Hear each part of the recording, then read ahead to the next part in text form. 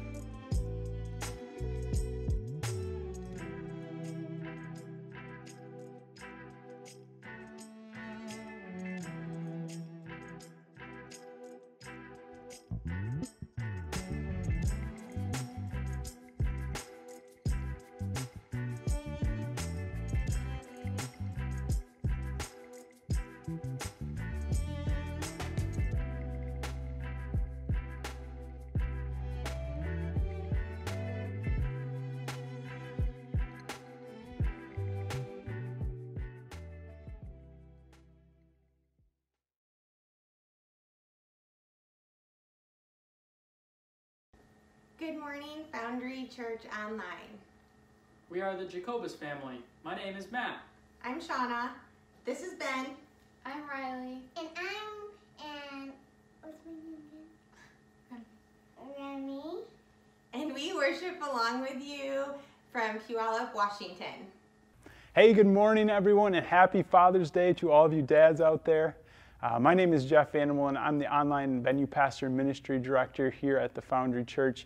And it's great to have you joining us for our worship service today. And I just encourage, if you live anywhere in the West Michigan area, to come check out one of our in person services. We meet at 9 a.m., 11 a.m., and 7 p.m. on Monday nights. Um, we'd love for you to join us if you are able to do so. Um, also, if you'd like to stay up to date and connected with everything that's happening at the Foundry, um, you can text the keyword Foundry Online to 94,000 and press the number one key. I have a few different announcements to share with you this morning. First, our devotionals. These devotionals are written by our team of writers and are available to you for free. At the Foundry Church, we believe in transformation, that we're called to transform in the image of God, and that it's so important to be in the Word of God. So these devotionals include the whole book of Proverbs and will encourage you in your, and challenge you in your faith. And also for this series, we're adding in the pamphlet called Intersections. Um, and this contains different scriptures that you can read throughout the week that will prepare you for what the pastor is going to be talking about on Sunday. So if you haven't grabbed either of these, I encourage you to do so. Um, as soon as you can. Uh, you can come anytime to the West stores in the airlock down there and you'll find a hard copy. You can go online to our website, um, foundrychurch.net, and you'll find an electronic copy. Or if you live outside of West Michigan and you would like a hard copy of the book or the pamphlet, send me an email online at foundrychurch.net and I'll make sure that one gets shipped out to you.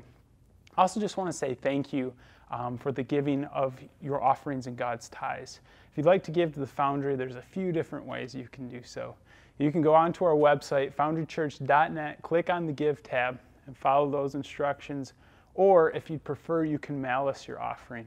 The address of our church is up on the screen right now.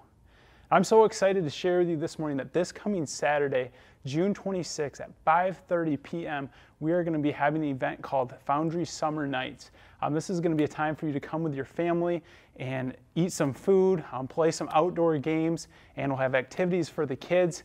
And it's just going to be a time for us to come together as a community and connect with one another. So I encourage you to come on out this week, Saturday, June 26 at 5:30 p.m. And this morning, I have an army of children, of babies that I get to introduce to you this morning. And they are Ember Alexis Pena and Sydney Joy Pena, who were born to Corey and Samantha Pena.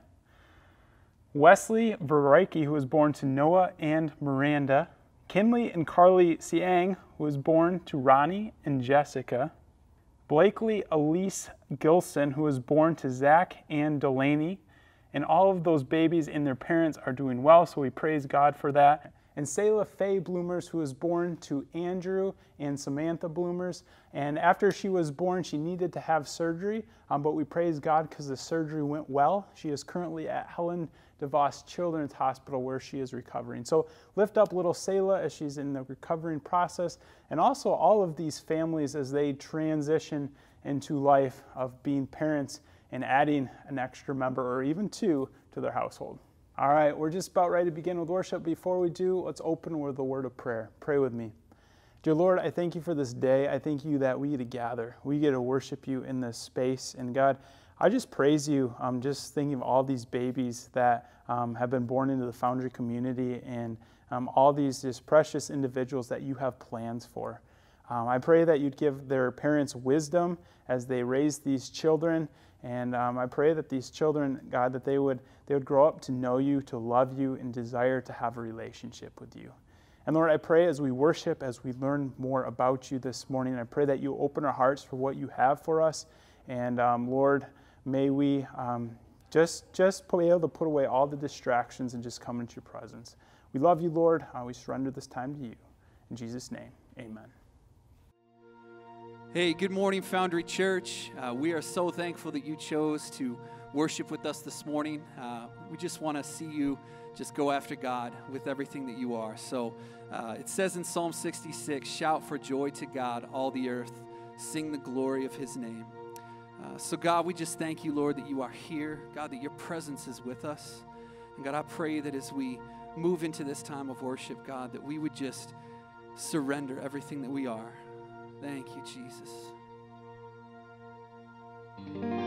Where you go, I'll go. Where you stay, I'll stay. Where you move, I'll move. I will follow.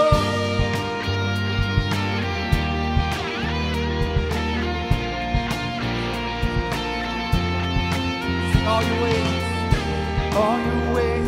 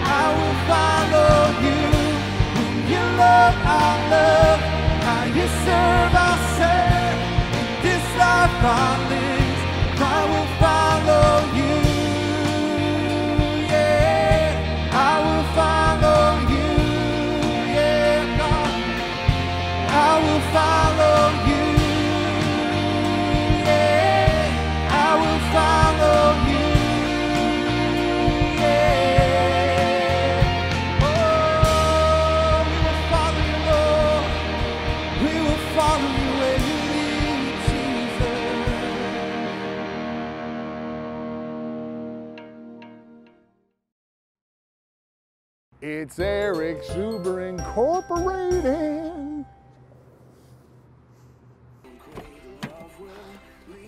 Hey man. What up there, Thanks for the Pants? Anytime. Oh, I love this song. Do you like it? Whoa! No. Trouble sneeze. Is that? oh. I'll go low. Okay, I'll go high. I like that. My lighthouse. My light- lighthouse. You know what? It's good. Uh, we sh- yeah. I, maybe we should just get Chick Fil A. I was wondering why I've never been asked to sing. I love Chick Fil A. I know you do. That'll actually give us the time. I've had a question that Okay. you know we've it actually given me some time. But can we go to church first? I may have forgotten something. Oh, yeah. So- I mean, the the Foundry Uber was to Chick Fil A, so there will be an upcharge. There. Okay. Just think of this as being supersized. super supersize me. Okay. just on the way to the foundry. But that'll give me a chance. I've been thinking about my calling, and I've actually been looking at um, Isaiah's calling, and I've had some questions about that. I wonder if I could quick run you through that on our way. Absolutely. Okay, Yeah. I'll quick grab the Bible a minute. So it says this In the year that King Uzziah died, I saw the Lord highly and exalted, seated on a throne, and the train of his robe filled the temple. Above him, the seraphim, which are the angels, Yeah. um, each with six wings. Two they covered their faces, and with two they covered their feet, and with two they were flying, and they were calling to one- another.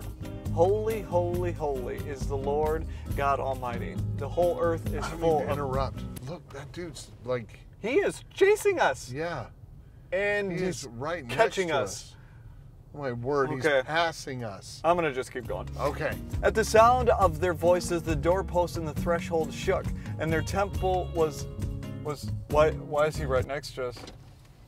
Hello? Hello, I think I can help you. Do you understand what you're reading? Uh, I guess not really.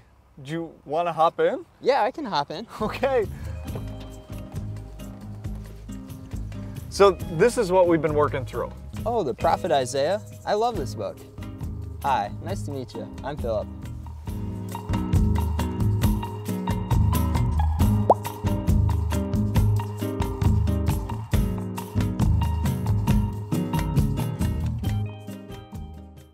Foundry Church, it is so good to be back with you this week as we're working into week three on our summer series, asking some of the questions, these little thought bubbles that pop up, and, and we have these questions about life. And today I want to introduce you to Philip the Apostle. And Philip the Apostle, as you saw in the video, had this unique story where the Spirit of God compelled him to go and run alongside this chariot that was being uh, that was occupied by an Ethiopian eunuch who was an executive to the queen's court. But more on that next week because I want to actually back up just a little and dial in on what Matt was saying in the van during the video that his calling, what does that look like? Before John, who was our Philip and is a crazy fast runner, came running alongside the van, you noticed Matt was wrestling with his calling and the calling of Isaiah and these different things. And when we talk about calling, we tend to think that there are two kinds of Christians. We think there are Christians who have big dramatic moments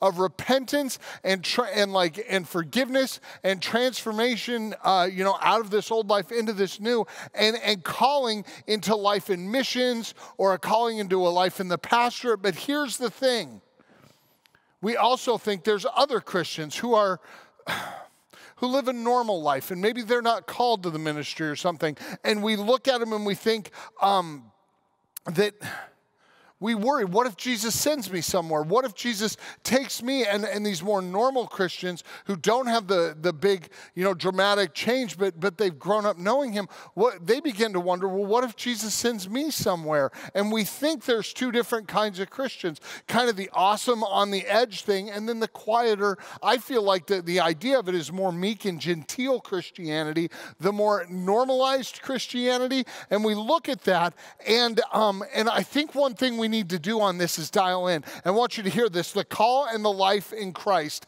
is never about destination, it is actually about transformation into the person of Jesus Christ. Hear that again. The call into the life in Christ is never, it's not about destination. He will call you to different places. It may be different places locally or internationally. He will call you to different places, but it's not about destination, it's about transformation. The transformation from you and your sinful nature into the very image of Jesus Christ. So, what I think we have to do is look at this idea, this understanding of testimony and security.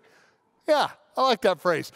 Testimony and security. If you've ever been around a group of, of people who are sharing their testimonies, and maybe um, you're sitting there listening, and one guy's like, Yeah, I was in a gang and I beat people and stole cars and, um, you know, like smuggled drugs and did all these horrible things. And I met Jesus. All the addictions fell off. I'm a new person. And now I do ministry in the prisons. And you're like, I grew up in a Christian home.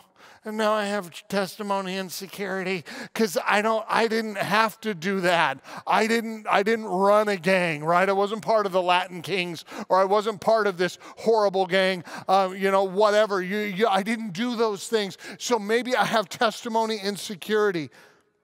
And the reality for us can be that we have um, that we have this idea that these huge testimonies are, are better than the testimony of another person who maybe grew up in a Christian home where the Word of God was read every day and they were taught the stories and understood the grace of Jesus Christ at a young age. And their life, in some way, um, was, was maybe a little more sheltered and it was protected and they didn't do all those awful things. But I want to tell you something the, the gangster who committed murder, and, and is the worst, you know, it doesn't have to be a gangster, just a person who has done monstrous things and, and came to Jesus Christ and laid a mountain of unmovable sin at the foot of the cross, needed Jesus just as badly as the person who grew up in a home where Jesus was taught, where they never really like committed those big sins, and they grew up knowing the grace of God and then receiving it, and they, they didn't do anything bad. That person,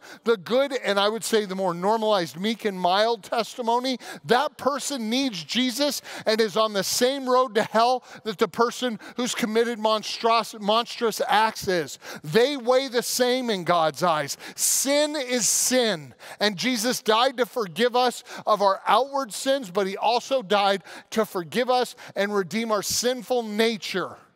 Our testimony insecurity is um, it is a lie. It's a lie. So to say that one horrible person needs Jesus more than the person who grew up in a Christian home and um, and eventually just gave their life to Jesus and has lived a quiet, faithful life, to say that one outweighs the other is not true. I would say to say one needs Jesus more than the other is a lie from the pit of hell and it will deceive many good people into hell. Well, I never did those things. I'm okay. That's not what we're talking about. We're talking about are you in Christ? Is your life hidden with Christ in God? That idea of testimony and security is so unbiblical. It doesn't matter your sins, it just matters that they're forgiven. All of them. They're completely forgiven. Philip reminds me of my friends who met Jesus when they were young. The Apostle Philip reminds me of one of those. But as you will see, even though the moment their life encountered Jesus, things changed, but, but at the same time, um, you, you watch them, and Jesus continues to intersect their lives in various ways and transform them um, and give them the moments where they are challenged to grow beyond where they're at and move forward with Him in ministry and purpose, in humility and transformation. Just as dramatic on the inside as the transformation of someone who is horrible and did all these bad things. Philip reminds me of someone who knew Jesus from a very young age and loved Him and trusted him from a very young age. It doesn't seem like a huge conversion, but it had monumental impact on the kingdom of God. It's a simple call and a simple response for Philip. It's a quick response from him. Check this out. In John chapter 1, verse 43 to 51, the next day, Jesus decided to leave Galilee. Finding Philip, he said to him, Follow me. Philip, like Andrew and Peter, was from the town of Bethsaida. Philip found Nathanael and told him, We have found the one whom Moses wrote about in the law and, the, and whom the prophets also wrote, Jesus of Nazareth, the son of Joseph. Literally, Jesus said, Follow me. And Philip's like, All right. There's no huge thing. It was just this simple obedience. It was as though he, I mean, look at him. His life would, was so calm about it. He just received him. He received the call and he followed and he went after him. How easy it seems. But here's the reality it still was courageous. Follow me. Philip's like, all right. And he set his face and he followed Jesus. And once Philip's heart heard this, it resonated with him. And in resonating with him, he began to follow Jesus. And we know that he was familiar with Scripture, with the Old Testament, the Hebrew Bible, Genesis through Malachi. He knew them. He was obviously schooled in them because he said when he went and found Nathanael, We have found the one whom Moses wrote about and the prophets wrote about. He knew what he was talking about because he had been in the scriptures. He had grown up knowing the word. So when he met with Jesus, he believed. He didn't understand totally, and I think that's part of it. We want to have it figured out sometimes, but know this Philip's life reveals that he didn't understand it all. He didn't get it all, but the one thing he do did understand is the importance of Jesus, and he would trust him and learn from him and let Jesus like a potter mold his life into the very image of Christ himself. He would do that. He was one of the first to say to others, Come and see this one who invited me to call him. Come and see this man who was written about by Moses and the prophets. Come and see Jesus of Nazareth. His life has this gentleness to it that is, um, don't ever mistake calm and gentle for passive and weak.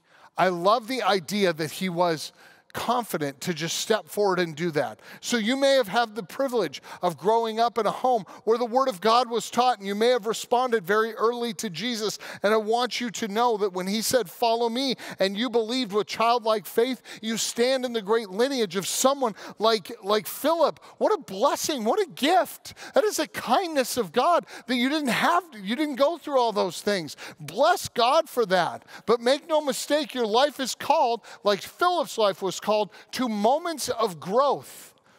There is no stagnation in this. In a life that chooses early to follow Jesus, what might stand out to you more is the moments where Jesus challenged you, challenged you beyond your small preconceptions, your small ideas of Him, and He challenged you to see bigger, to obey in things that made no sense. He may have challenged you to believe or to act. The moments where you stood up against the culture as a child and said, I'm not going to do that. It doesn't seem right to me. And though frightened, you stood up and did that because Jesus gave you moments of growth and he challenged you where you responded and you grew like a tree well rooted.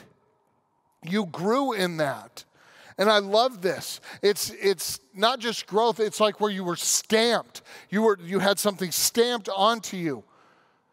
It changes you. The memories of that are, are sealed and kind of burned or branded into your mind as moments where you responded faithfully and it was frightening, and all the emotions and the hormones of standing up and being like, I'm going to be different in a world of sameness. I have to obey. And when you do those things and you have those moments of growth, you find yourself growing not more into your better self, but being literally, you are being chipped away, and Christ's image is being um, transformedly bound into you. And you find these moments. You find these moments with Jesus just like Philip did. Philip had a lot of moments with Jesus. I would like to read to you a story out of John chapter 6, verses 1 to 14. And really, it's a great story. Many of us in the church are familiar with this story, but here's the thing. In this story, what we find is Philip having a moment of growth. And you see the tenderness of Jesus who called him not to his best self, but to be transformed. Check this out, John chapter 6, 1 to 14. It says this Sometimes, sometime after this, Jesus crossed to the far shore of the Sea of Galilee, that is the Sea of Tiberias, and a great crowd of people followed him because they saw the signs he had done. He had performed these uh, by healing the sick. Then Jesus went up on a mountainside and sat down with his disciples. The Jewish Passover festival was near. And when Jesus looked up and saw the great crowd fill, uh, coming towards him. So Jesus looks up. I want you to think like a U of M game or a Michigan State game or wherever you live with the universities, and you see people crowding towards the stadium. I'll never forget going to a U2 concert at Soldier Field, and we started walking down Michigan Avenue, and we were up on the northern side by Wacker there on Wacker Drive, and we were coming down. And as we walked down, there were like crowds of people building, and we were all like, Are you going to the concert? By the end, the streets were closed. No more cars wanted them. And a herd of a 70,000 of us were going in and you could, you could just see it. And I wondered, like, is the band like looking out from the suites, seeing these people coming? That's what I picture with Jesus. Jesus looking out and seeing a great crowd coming towards him says to Philip, Where shall we buy bread for these people to eat? And he asked this, listen to this. Jesus asked this only to test him, for he had in mind what he was going to do. Philip answered him out of his humanity It would take more than a half year's wages to buy everyone enough bread to have just a bite. Can you hear it? His octave goes up a little because he's like, We're going to be so broke. He can't understand it. Another of his disciples, another of Jesus' disciples, Andrew, Simon Peter's brother, he spoke up and he said, Here's a boy with small, five small barley loaves and two little fishes. Pushes him forward, and there's a little boy with his lunchbox, right? And he has two fish. But how far will these go among so many? So the question's rhetorical. I mean, this is what we have. It's clearly not enough. And Jesus said, have the people sit down. Have the people sit down. There was plenty of grass in that place and they sat down. About 5,000 men were there. That's only counting the men. So there, there had to be, I don't know, I don't want to guess, but I know there were at least 5,000 men. Jesus then took the bread, gave thanks, and distributed to those who were seated. At, now, notice, not a bite, which Philip was worried about getting them just a bite, as much as they wanted he gave them their fill. And he did the same with the fish. When they had all had enough to eat, he said to the disciples, Gather all the pieces that are left over, let nothing be wasted. So they gathered them together and filled 12 baskets with the pieces of the barley loaves left over by those who had eaten. After the people saw this sign Jesus performed, they began to say, Surely this is the prophet who has come into the world. So when we look at that, we can see that poor Philip was given a test, but it was more of a test for Philip to understand his limitations than it was for Jesus. Jesus wasn't concerned about what he was going to do. He already had in mind what he would do. He wanted his disciple to see something different. Jesus didn't wonder what to do. But Philip, with his intellect and his connections or physical abilities, saw no option to feed the people. He, he had a limited view. And sometimes when Jesus tests you, it stings. I think Philip was probably a little embarrassed right? A little embarrassed because it had to be a corrective moment where he was like, Yeah, I didn't see that through your lens. I saw it only through mine. And I think Jesus was teaching him when you see me, see things possible, see redemption bigger, see opportunity bigger. Like Jesus is trying to get into his head that he will change everything with the smallest thing. So when we see this, we can realize Philip probably felt the sting of the test, that he failed the test. It stings because you fail. I want you to know something, church, you are going to fail greatly in trying to serve Jesus. I love failing forward. I'm still fighting for it to be a value in this church because I think when we fail forward in faithful obedience to God, there is no failure. There's moments of growth, there's opportunities to see things through Jesus' lens. And sometimes the only way we learn is to, is to fail is to just fail with it. It stings like the moment before, um, before you, like, honestly, like for me as a quarterback in high school, I will never forget. I stepped back one time, I threw this ball, I threw a dart. I was like, whoosh, I threw it, and my finger hit the helmet of a linebacker coming at me. And this finger made a hard right. And I was like, ah! and I freaked out because it stung so bad. And my instant impulse was go, and I was like, oh, I could see spots. It hurt so bad and it stung, but I still can feel the tension in that when I grabbed it and popped it, and I could hear it in my head, like everything kind of straining. And then it went and stunk back in. I was like, oh, and I could move it. It hurt terribly, but when it moved back into joint, it could work again. It could work again. And correction oftentimes feels like that sting, but I'll tell you this we are out of joint with Jesus, and it stings when He puts us back in joint. But He does that because He wants us to function in the fullness of His capacity, not yours. He doesn't need your compa- capacity, He needs you to see His. He needs you to see Him as Lord. Jesus didn't shame Philip. Instead, He, now get this, this is so good. He walked him through a miracle. One of the best parts about my dad is when, when he taught me how to do drywall and stuff, he would walk me through the process. It drove me nuts. He'd show me how to do something and he would pretty much do the whole job. I'd be like, why can't I have a chance to spread? He was he did drywall on the side. And I'd be like, why can't I mud something? And he would leave me a last little section. And that's when I'd realize that's why he didn't let me because I'd be like, "Ah," and I just I was terrible. But he would do most of it and he would show me, he would walk me through the process. He taught me things, and I needed to see them. Jesus walked Philip through a miracle. He said, Hey, what do you think we should do? I don't know, Jesus. I think we can't even get him a bread and piece of bite to eat, and what do we do? Uh-huh. it got really awkward. He didn't know how to handle it. He was past his depth, but Jesus wasn't. So Jesus then walked him through it peacefully, quietly, at ease. And then he said, Pick up the scraps. I don't want to waste the food that's left over. And Philip had to be like, What just happened? But Jesus walked him through a miracle. Everyone was fed, including Philip. Philip ate his fill. That's kind of funny. Philip. Anyways, um, sorry, that's what happens when you have ADD. But here's the thing remember, these lives of ours that are hidden with Christ in God have moments where Jesus intersects us time and again. So if you have lived a life where you knew Jesus young, you've had these growth moments, you've had these challenges, have you responded and let Him reset the joint of your life so that you're not dislocated from Him, but He sets you out there straight again? He gets you straightened out.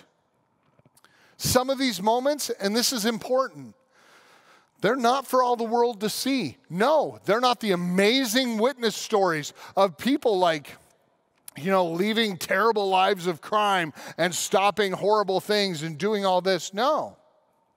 But they are stories of a life transformed, and they're not for the world to see. It's a very intimate relationship between Jesus and one who has known him for a long time. They're private moments between you and him when he does the close work that only He can do. It's an intimacy. So, what that tells me is since there's an intimacy, it goes deeper than just what we do, it goes to our motives. And Jesus will purify your motives. In John 12, um, 20 to 26, it says this. Now, and this is really cool because we see the motives of Philip in this. We see some of his brokenness. It says this Now, there were some Greeks among those who went up to worship at a festival. They came to Philip, who was from Bethsaida in Galilee, with a request. Sir, they said, we would like to see Jesus. Philip went to Andrew, and Andrew and Philip in turn told Jesus. And Jesus replied, Now get this Greeks, important people, want to meet Jesus. And they go and tell Jesus, Hey, some people want to see you. So imagine that. Hey, somebody wants to see you. This is what Jesus says in return. The hour has come for the Son of Man to be glorified. Very truly, I tell you, unless a kernel of wheat falls to the ground and dies, it remains only a single seed. But if it dies, it produces many seeds. Anyone who loves their life will lose it, while anyone who hates their life in this world will keep it for eternal life. Whoever serves me must follow me, and where I am, my servant must, will also be. My Father will honor the one who serves me. So, did you notice that in the scripture? These Greeks, who culturally are a big deal, Hellenization, the Greeking of the world, was a big deal. It was the universal language of sophistication and understanding at that time religion and government. Uh, they came up with democracy, right? They were the super intelligentsia. They were really good, like really great cultural people and they wanted to see Jesus. And when Philip goes in with Andrew, kind of excited, like, oh, Jesus, oh, the Greeks want to talk to us. It's a big deal to them. And what does Jesus do? He says to them, if you want to serve me, if you want, if you want to be near me, you got to serve. He starts talking about service. Not who comes to you, how famous you get, how great you are, how big your bank is. None of that. Jesus wanted none of it. He said to them, Look, anybody who's with me is a servant. That's who I am. He showed them and purified their motives in that moment. The Greeks, with all their um, influence, or Jesus, come and serve. Come and serve. It was a different thing, and it revealed that their motives, their excitement for what they were presenting to Jesus, betrayed their own motives, that they wanted to be more important. And let's be honest, we all want that. Jesus is such a good friend to us. Have you ever been there? I'll be honest, I have. I've been there where you think you've arrived at that moment when you feel important, where you feel successful, where you feel like you've kind of reached that rung you had always dreamed of, or you're doing something. Maybe you've arrived in this life, you've hit, you, you know, you're like, yeah, look, look, I'm doing it, I'm good. And you feel really good, and Jesus lovingly comes on on and kind of like he did with Philip, puts his hand on your shoulder and reminds you it's not all about the culture loving you. It's about service to Jesus. It's about having your eyes on him getting truly excited in your heart and soul and spirit about someone who doesn't know Jesus coming to faith rather than someone who's got a lot to offer you coming into your atmosphere and providing you with something. Has Jesus ever done that where he puts his hand on your shoulder or he whispers in your ear in your spirit and reminds you in that strong but kind voice, this isn't what it's about. You're missing me amid all the stuff. This isn't what it's about. What a good friend Jesus is. What a kindness he extends. It's, I mean, the way I would say it is he kind of comes along when, we, uh, when we're believing our own press and thinking we're great, and he's like, don't believe the press. Don't believe the press. What did it say when everybody was loving Jesus? That he didn't entrust himself to them, for he knew what was in the heart of man. He knew the people screaming his praises would one day shout, Crucify him. He knows how fickle the crowd is, and he reminds Philip of his motives in this. How kind is that? How loving is it that he would reveal in gentleness and then purify your motives?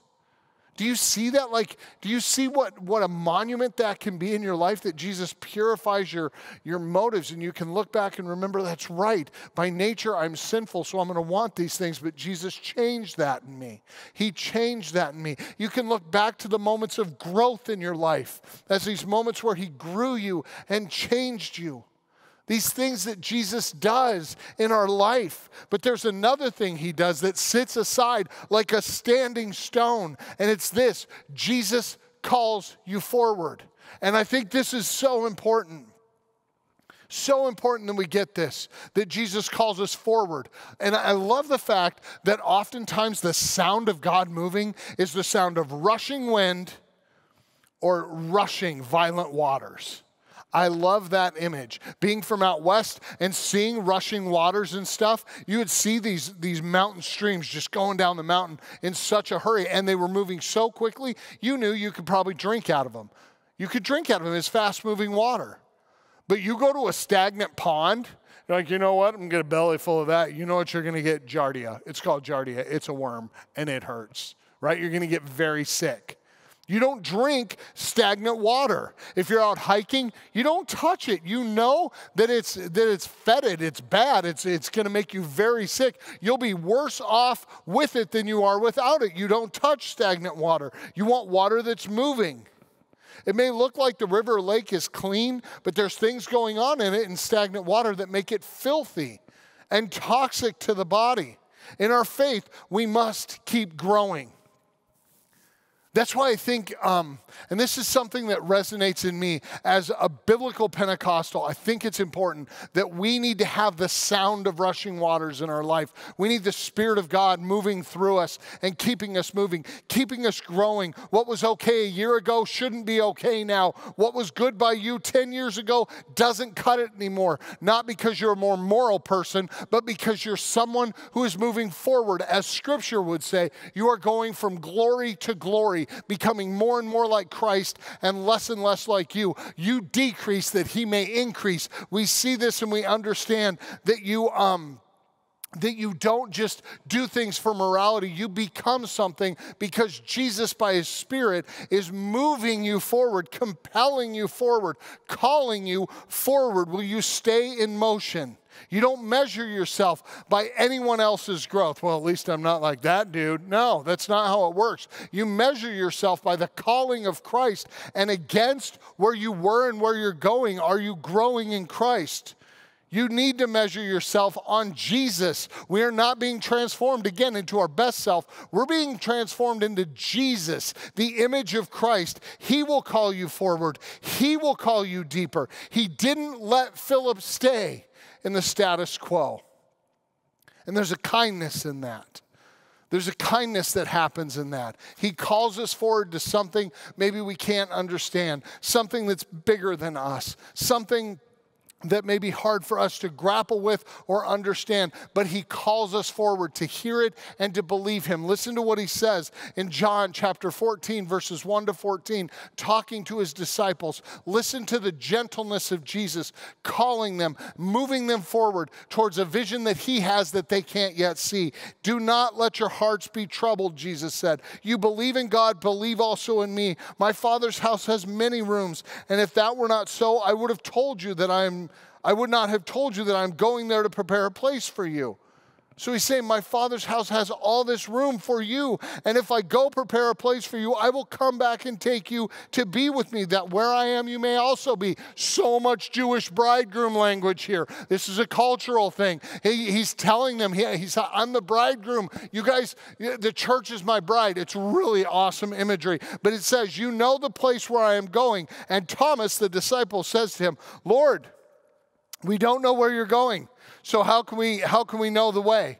And Jesus answered him, and you'll hear me say this the rest of my life. It's one of my favorite verses. Jesus answered him, I am the way, the truth, and the life. No one comes to the Father except through me. It's the great absolute of who Jesus is. He's not saying I'm a way to God, He's saying I'm the way to God. I am the way, the truth, and the life. No one gets to the Father except for me. If you really know me, you will know my Father as well. From now on, you do know him and have seen him. This is beyond Jewish concept. Their minds would have been blown by this. Philip said, Lord, Show us the Father, and that will be enough. That's Philip's quick line. He's like, oh, because he knows in Jewish significance, no one sees God. Moses saw God, and he, came, he saw the back of God, and he came off the mountain glowing. Philip's like, Show us, show us the Father. He wants to see him. And Jesus answered, Don't you know me, Philip? Even after, after I've been with you such a long time, anyone who has seen me has seen the Father. How can you say, Show us the Father? Don't you believe that I am in the Father and that the Father is in me? The words I say to you, I don't speak on my own authority. Rather, it is the Father living in me who is doing his work. Believe me when I say that I am in the Father and the Father is in me. Or at least believe on the evidence of the works themselves. And he hearkens us back to that mountainside where Philip saw such a small symbol of what could happen. Lord, it would take half a year's wages to feed these people one bite. And Jesus is like, Give me a little kid's lunch, I'll feed them all. And Jesus is saying, If you can't believe what I'm telling you, remember what I've done. Remember who I've shown you I am. Remember bigger than you're capable of believing. And he says, Very truly I tell you, whoever believes in me will do the works I've been doing, and they will do even greater things than these, because I am going to the Father, and I will do whatever you ask in my name, so that the Father may be glorified in the Son. You may ask me for anything in my name, and I will do it. And Jesus had watched Philip learn to trust him. He had watched Philip grow as he believed in seeing the miracles and seeing the signs. He, he watched him as he abandoned his life and served people with Jesus. He watched him, but Jesus didn't let, let Philip think that he had finished the race. He knew that Philip had to charge forward. Jesus didn't send Philip away as a failure when he made a mistake when he was young. He didn't let him stay in wrong understandings. Jesus is too kind and too loving to let that happen. He encouraged his faith. Believe Believe that I and the Father are one. Believe it. Believe that I am God. Believe that I will be with you. Believe that this is bigger than you, but it's not bigger than me. Believe, and you will do amazing things, even more than I've done. If you believe in the miracles, and so believe in me, know this your miracles will be even greater. Jesus is calling them to belief. If these moments are happening in your life, there is proof and it is fruit that Jesus is walking with you. You're walking with the Lord. If you have never had Jesus calling you forward into a belief beyond what you could conceive, I don't know if you're walking with the Lord or enjoying a pet religion.